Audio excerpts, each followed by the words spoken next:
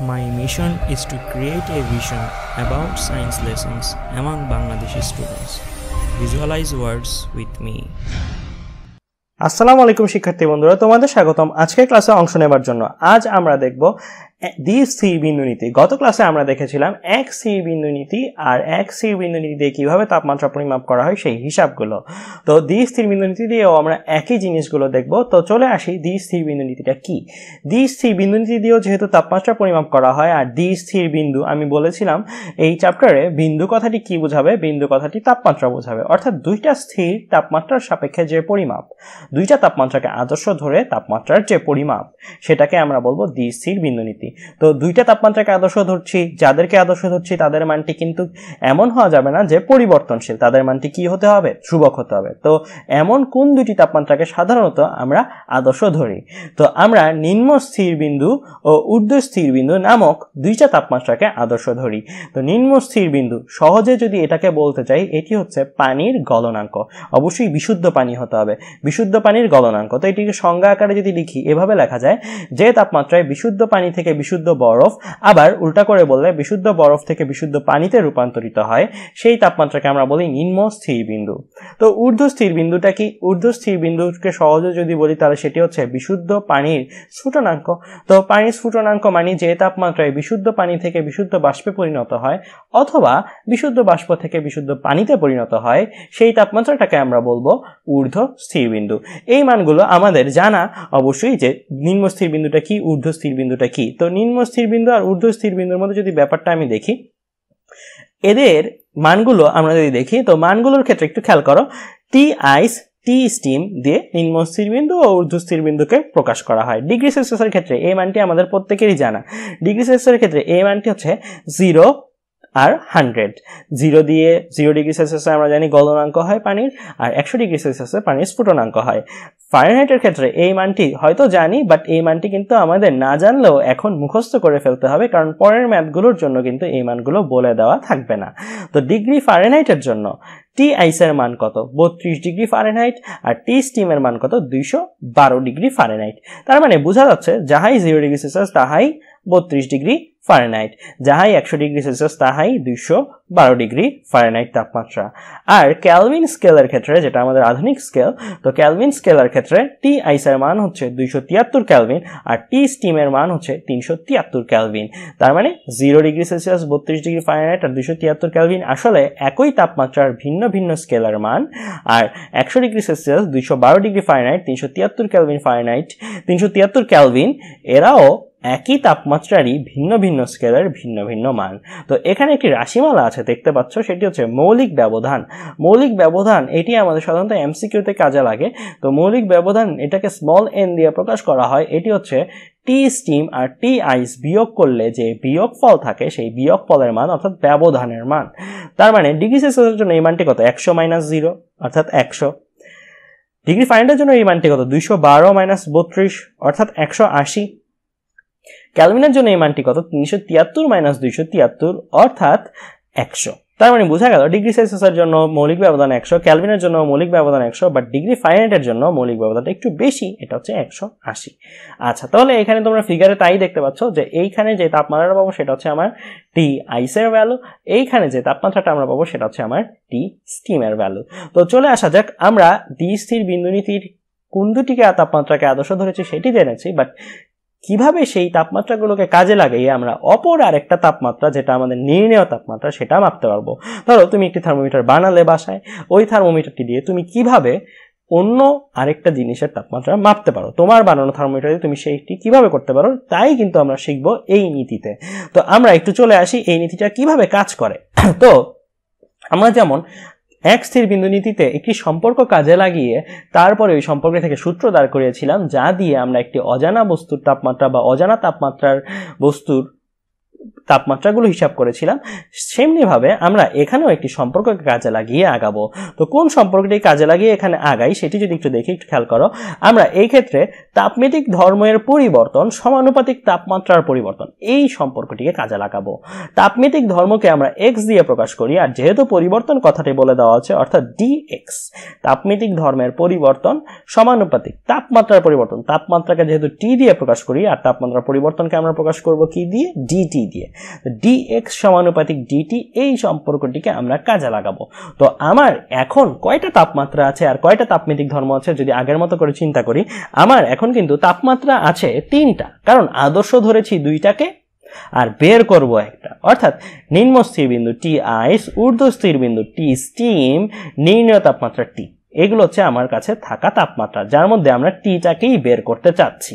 আচ্ছা তো নিম্ন স্থির বিন্দু তাপমাত্রাতে, অর্থাৎ আমি যদি আগের পেজে ফিরে যাই, আগের পেজে ঠিক এই জায়গাটিতে তুমি যদি তোমার থার্মোমিটারটিকে স্থাপন করো, তোমার বানানো একটি থার্মোমিটার সেটি যদি তুমি স্থাপন করো, তাহলে তুমি কি পাবে? একটি হাইট পাবে, তোমার থার্মোমিটারের পারদের একটি উচ্চতা তুমি উঠতে থাকতে দেখবে। সেই কতটুকু উচ্চতা পারদ উঠে আছে, সেটি কিন্তু তুমি তোমার স্কেল দিয়ে, তোমার যে হাতের থাকা যে ছোট স্কেল বা বড় স্কেল দিয়ে, তুমি কিন্তু এই হাইটটি মেপে ফেলতে পারবে। যেহেতু পারদ থার্মোমিটারের জন্য প্রসারণের যে মান অর্থাৎ হাইটটার যে মান, সেই মানটিকে তাপমিতিক ধর্ম বলা হয়। অর্থাৎ তুমি যদি ওই হাইটটি মাপো, ওই হাইটটি কিন্তু টিআইসে লাগিয়ে তুমি হাইটটি পেয়েছ। অর্থাৎ ওই হাইটটি কিন্তু হবে টি আইস তাপমাত্রার জন্য তাপমিতিক ধর্ম, অর্থাৎ এক্স আইস ওকে আচ্ছা এবার আসি ঊর্ধ্ব স্থির বিন্দুতে, অর্থাৎ টি স্টিমে যদি তোমার বানানো থার্মোমিটারটিকে তুমি নিয়ে স্থাপন করো, অর্থাৎ তুমি যদি ঠিক এই পয়েন্টটাতে তুমি যদি তোমার বানানো থার্মোমিটারটিকে স্থাপন করো, তাহলে তোমার অবশ্যই এটা একটু গরম বেশি, বুঝতেই পারছ আগেরটার থেকে, তো এখানে তোমার তাপমাত্রা বেশি হওয়ার কারণে তোমার পারদটা কিন্তু আরেকটু বেশি হাইট উঠে থাকবে। তো এইখানে যতটুকু হাইটই উঠে থাকল, সেটিও কিন্তু তুমি তোমার স্কেল দিয়ে মেপে ফেলতে পারো। তুমি টি স্টিমে তোমার বানানো থার্মোমিটারটি লাগালে, লাগিয়ে তুমি আরেকটি হাইট কিন্তু তুমি পেয়ে যাবে। যেহেতু হাইটটি এখানে তাপমিতিক ধর্ম বোঝায়, তার মানে টি স্টিমে লাগানোর ফলে যে তাপমিতিক ধর্মটি তুমি পাবে সেটি হচ্ছে এক্স স্টিম ওকে আচ্ছা এখন তুমি একটি অজানা বস্তু, অজানা তাপমাত্রা বিশিষ্ট বস্তুর তাপমাত্রা বের করতে চাও। অর্থাৎ ধরো তুমি তোমার শরীরের তাপমাত্রা, বর্তমান তাপমাত্রাটা বের করতে চাও। তাহলে তুমি যেটা করবে, তোমার শরীরের তাপমাত্রা কত জানো না, ধরে নিলে ক্যাপিটাল টি কিন্তু তোমার শরীরের মধ্যে তুমি যদি তোমার বানানো থার্মোমিটারটিকে লাগাও, তাহলে তুমি কিন্তু তাপমেটিক ধর্মের আরেকটি মান পাবে। ওই তাপমেটিক ধর্মের মানটিকে আমরা বলতেছি এক্স ঠিক আছে? তো ওই মানটিও কিন্তু তাপমেতিক ধর্মের মানটিও কিন্তু তুমি স্কেল দিয়ে সহজেই মেপে ফেলতে পারবে।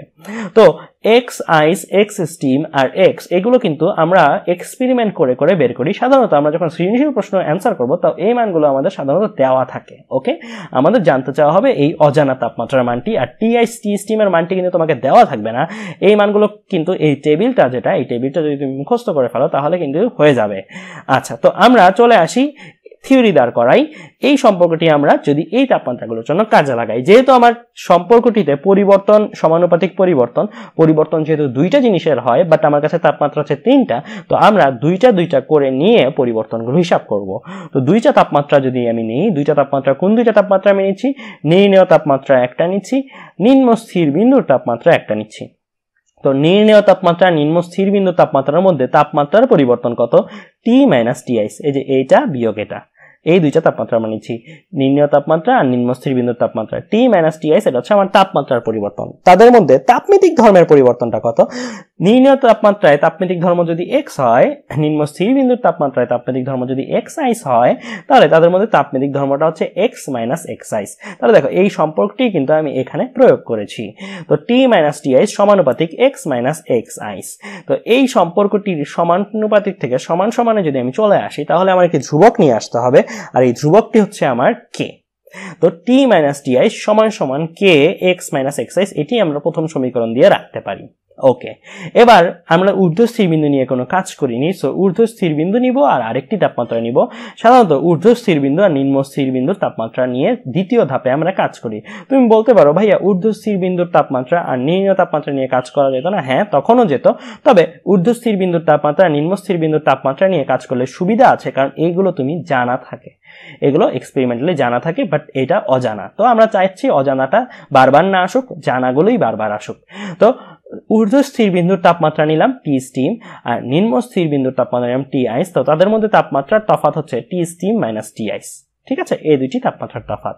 এবার আসি তাপমাত্রার তফাটা নিলে এবার তাপমেতিক ধর্মের তফাৎ নিব। তো তাদের মধ্যে তাপমেতিক ধর্মের তফাৎ ঊর্ধ্ব স্থির বিন্দুতে তাপমেতিক ধর্ম হচ্ছে এক্স স্টিম ঊর্ধ্ব স্থির বিন্দুতে তাপ নিম্ন স্থির বিন্দুতে তাপমেতিক ধর্ম হচ্ছে এক্স আইস অর্থাৎ X steam minus X ice এটি হচ্ছে আমার তাপমেতিক ধর্মের পরিবর্তন, অর্থাৎ ডি এক্সটাকে এক্সটেন্ডেড রূপে যদি লিখি, তাহলে এটা লিখতে পারি। তো T steam minus T ice সমানুপাতিক X steam minus X ice এটা দ্বিতীয় ধাপে আমার সম্পর্ক, এই সম্পর্ক থেকে যদি সমান সমান নিয়ে আসি, একটি সমানুপাতিক ধ্রুবক আসবে। এই ক্ষেত্রেও যেহেতু একই থার্মোমিটার নিয়ে আমি কাজ করেছি সো একই ধ্রুবক আমার আসবে, এইটি আমার কে তো এইটিকে আমরা এক নম্বর সমীকরণ দিয়ে রেখেছি, এই T S T minus T ice equal to K X T minus X ice K দুই নম্বর সমীকরণ দিয়ে রাখলাম। তো আমার টার্গেট হচ্ছে এই টিটাকে বের করা। কিন্তু আমি দেখো, কে কি কি জানি, ধ্রুবকটাকে জানি না। তো আমরা যদি ধ্রুবকটাকে সরিয়ে ফেলতে চাই, তাহলে কিন্তু আমরা যদি জাস্ট এই দুটি ইকুয়েশনকে ভাগ করি, তাহলে কিন্তু আমার হয়ে যায়। এই দুটি ইকুয়েশনকে ভাগ করলে আমার ঠিক এরকম একটি জিনিস আসে যে t minus ti is divided by t steam minus ti is equal to x minus x is divided by x steam minus x is যার সবগুলোর পরিচয় কিন্তু এখানে দেয়া আছে তো t হচ্ছে আমার নির্ণয় তাপমাত্রা মানে যেটি সাধারণত আমরা বের করি ম্যাথগুলোতে টি আইস নিম্ন স্থির বিন্দু যার মানটা সাধারণত টেবিলে আমরা পাবো। যদি আমাদের ম্যাথে নির্ণয় তাপমাত্রার মান ফারেনহাইটে চায়, তাহলে আমরা টি আইস এর মান ফারেনহাইটে বসাবো, টি স্টিমের মান ফারেনহাইটে বসাবো। যদি নির্ণয় তাপমাত্রা ডিগ্রি সেলসিয়াসে চায়, টি আইস এর মান ডিগ্রি সেলসিয়াসে, টি স্টিমের মান ডিগ্রি সেলসিয়াসে। অর্থাৎ নির্ণয় তাপমাত্রা তোমার যেই স্কেলে যাবে, টি আইস, টি স্টিম অবশ্যই ওই স্কেলেই তোমার বসাতে হবে। আর এক্স কি? এক্স হচ্ছে নিম্ন তাপমাত্রার বস্তুটিতে তুমি যদি থার্মোমিটারটিকে লাগাও, তখন যে তাপমিতিক ধর্মটি পাবে। এক্স আইস কি নিম্ন স্থির বিন্দুতে যদি তাপ তাপ থার্মোমিটারটি লাগাও, তাহলে যে তাপমিতিক ধর্ম পাবে? এক্স আইস এক্স টিম নিম্ন স্থির বিন্দুতে লাগানোর ফলে তাপমেতিক ধর্ম এক্সট্রিম ঊর্ধ্বস্থির বিন্দুতে তাপ লাগানোর ফলে যে তাপমেতিক ধর্ম। তো এই জিনিসগুলোর প্রত্যেকটি পরিচয় যদি জানা থাকে, তো এখানে চলক আছে আমার ছয়টি। ছয়টি চলকের মধ্যে পাঁচটি চলক আমাকে ইউজুয়ালি দিয়ে দেয়, আর টেবিলের মানগুলো ছাড়া এই তিনটি চলক পাওয়া যাবে, এটি টেবিল থেকে মুখস্থ থাকবে, আর এটি সাধারণত বের করতে হবে। তো এরকম ম্যাথ আমরা যদি একটু ট্রাই করি, তো ম্যাথটা যদি একটু দেখি। তো ম্যাথটিতে দেখো কি দেওয়া আছে? একটি নির্দিষ্ট রোদ থার্মোমিটারের রোদ বরফ বিন্দু ও স্টিম বিন্দুতে যথাক্রমে ফোর পয়েন্ট ফাইভ ওহম ও নাইন পয়েন্ট ফাইভ ওহম। কোনো তরলে স্থাপন করলে এর রোদ সিক্স পয়েন্ট ওয়ান ওহম হয়। তরলের তাপমাত্রা কত তা তোমার থেকে জানতে চেয়েছে। তো এই ম্যাথটিতে প্রথমেই আমার ফাইন্ড আউট করতে হবে কি কি জিনিস দেওয়া আছে। তো কি কি জিনিস দেওয়া আছে সেটা যদি আমরা দেখি, বরফ বিন্দুতে দেওয়া আছে ফোর পয়েন্ট ফাইভ ওহম অর্থাৎ এটি আমার কিসের মান। বরফ বিন্দু মানে আমার আরেকটা জিনিস বলে রাখি, আমরা নিম্নস্থির বিন্দুর কিন্তু অনেকগুলো সিনোনিম পাবো। বরফ বিন্দু পাবো, গলনাঙ্ক পাবো নিম্নস্থির বিন্দু পাবো। সো বরফ বিন্দুটি কিন্তু নিম্নস্থির বিন্দু বোঝাচ্ছে। অর্থাৎ যেটাকে আমরা টি আইস নামে চিনি, সেই টি আইস কিন্তু আমাকে দেওয়া আছে, ঠিক আছে? আচ্ছা এবার আসি স্টিম বিন্দুতে। স্টিম বিন্দুতে তোমার তাপমাত্রার রোদ তাপমিতিক ধর্মের মান কত দেওয়া আছে? তাপমিতিক ধর্মের মান দেওয়া আছে টি আইসের জন্য। এটা হচ্ছে এক্স আইসের ভ্যালু আর এখানে টি স্টিমের জন্য তুমি কিসের ভ্যালু পাচ্ছ এটা? টি স্টিমের জন্য তুমি পাচ্ছ এক্স স্টিমের ভ্যালু তো এটা তোমার এক্স স্টিমের ভ্যালু তো আমরা টি স্টিমের জন্য এই জিনিসটা পাচ্ছি আর টি আইসের জন্য এই জিনিসটা পাচ্ছি আর টি স্টিমের জন্য এই জিনিসটা পাচ্ছি। তার মানে এগুলো যথাক্রমে আমার এক্সের ভ্যালু রোদের মান যেহেতু, তাহলে এটি হচ্ছে আমার তাপমিতিক ধর্মের মান, ঠিক আছে? আচ্ছা এবার বলছে কোনো কোনো তরলে স্থাপন করলে এর রোদ সিক্স পয়েন্ট ওয়ান ওহম হয়। কোনো তরল, তার মানে একটি অজানা বস্তুর কথা বলে দেওয়া আছে, অজানা তাপমাত্রার বস্তুর কথা বলে দেওয়া আছে। অজানা তাপমাত্রাটি কত? আমরা জানি না, আমরা ধরে নিলাম সেই তাপমাত্রাটি টি তো অজানা তাপমাত্রা টিতে তোমার তাপমেদিক ধর্মের মান কত? সেই মানটি দেওয়া আছে, অর্থাৎ এক্সের মান দেওয়া আছে। তাহলে তুমি কি কি পাচ্ছ? তুমি পাচ্ছ এক্স আইস তুমি পাচ্ছ এক্স আইস তুমি পাচ্ছ এক্স স্টিম তুমি পাচ্ছ বরফ বিন্দু স্টিম বিন্দু। বরফ বিন্দু স্টিম বিন্দু বললেই কিন্তু আমার মানগুলো মাথায় রাখতে হবে। Zero degree Celsius degree Celsius স্কেলের জন্য আর হান্ড্রেড ডিগ্রি সেলসিয়াস, ঠিক আছে? তো এই মানগুলো কিন্তু তোমাকে দেয়া আছে। তো এই মানগুলো দিয়ে থেকে তোমার কাছে জানতে চাওয়া হয়েছে টি এর মান কত। এই যে তরলের তাপমাত্রা কত দ্যাট মিনস টি এর মান কত তোমার কাছে জানতে চাওয়া হয়েছে। তো টি এর মান যদি জানতে চাওয়া হয়, তো আমরা যদি ফর্মুলাটি বসাই, এখানে আমরা একবার হিসাবটা করেছি, তোমরা খুব সহজেই হিসাবটি বুঝতে পারো। বাম পাশে কীভাবে টি আসলো, এটি যদি তোমরা ফর্মুলাটিতে একটু খেয়াল করে দেখো।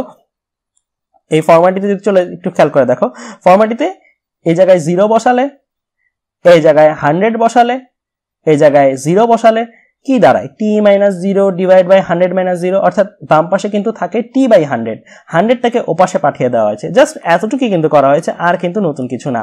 তো এতটুকু যদি করা হয়, তাহলে দেখো, এই যে T minus zero divide by hundred minus zero হান্ড্রেডটা কোথায় গেল? এই যে হান্ড্রেডটা এখানে, আর টি মাইনাস জিরো তো টি তাহলে বাম পাশে রয়ে আছে টি আর এখানে কি ছিল? X minus X ice divide by X T minus X ice এক্সের ভ্যালু কত? সিক্স পয়েন্ট ওয়ান ওহম, আর এক্স আইসের ভ্যালু কত?